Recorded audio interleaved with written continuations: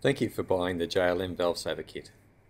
JLM Valve Saver fluid has been officially tested by Germany's leading automotive university and shows that the JLM Valve Saver fluid stopped further wear of the valves and valve seats. This box contains all the necessary items you need to install the kit. This video explains how easy it is to install the JLM Valve Saver kit. Installing the JLM reservoir. Begin by mounting the JLM reservoir in a suitable place in the engine bay, away from extreme temperatures. Make sure the reservoir is mounted no higher than the valve saver inlet port to avoid siphoning.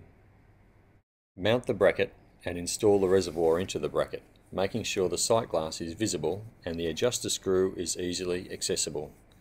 Do not fill the reservoir yet.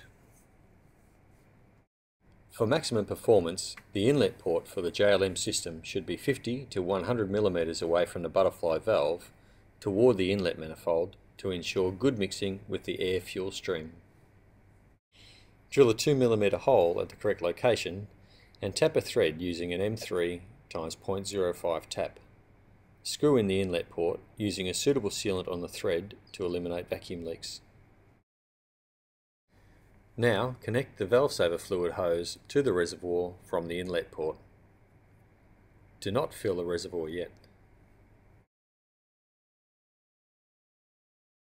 Installing the LED indicator. Locate a suitable position on the car dashboard, drill the hole and mount the LED into the hole. Then feed the LED wires back through the firewall, connecting the red LED wire to power from ignition. Then connect the black LED wire to the black wire from the reservoir and connect the brown wire to earth. Before filling the reservoir with the JLM valve saver fluid, make sure that the LED indicator is working properly by turning on the ignition and waiting for the LED light to illuminate. Fill the reservoir with 400 ml of JLM valve saver fluid without overfilling. Don't forget to replace the filler cap.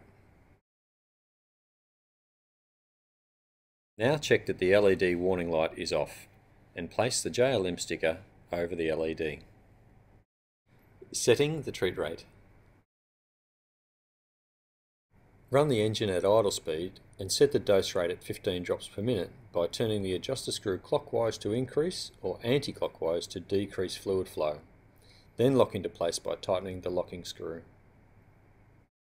Next time you fill your fuel tank, note how many litres of fuel you've added.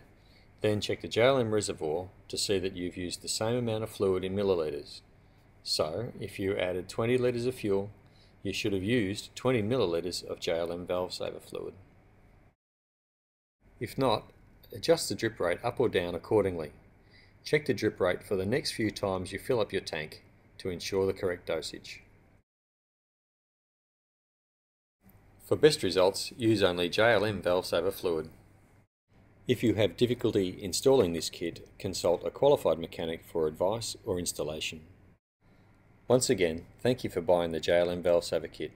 For more information on our products, please visit our website jlmlubricants.com.